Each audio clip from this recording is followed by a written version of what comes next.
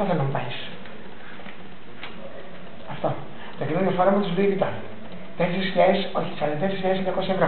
Τι είναι 44.900 ευρώ; Μπαμπάς μου έχει περισσότερα λεφτά. Άμα δεν μπορεί να μου πάρεις 44.900 ευρώ να φύγεις. Ο Σοκράτης ο Κόκκο δεν μου πήρε καλύτερα εμένα.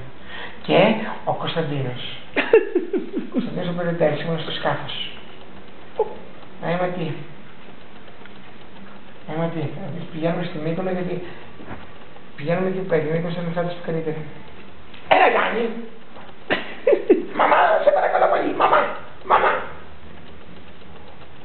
Κορίτσι μου, τι είναι αυτά που λες το παιδί, τι είναι αυτά που λες, που μην μεγαλοπιάνεσαι, δεν μιλάμε σαν είσαι χαζή. Και δεν τα κοινομαρίνει το ρολόι, πάρα πολύ. Δεν κοινομαρίνει ή όχι, τα ρόλεξ με τα μπριγιάννη καινούργιο. Ναι, αυτά θα μου πάρεις τα ρόλεξ με τα μπριγιάννη θα περάσει στο πανεπιστήμιο. Τα ρόλεξ με τα μπριγιάννη και ε, μια πόρσα καγιάννη.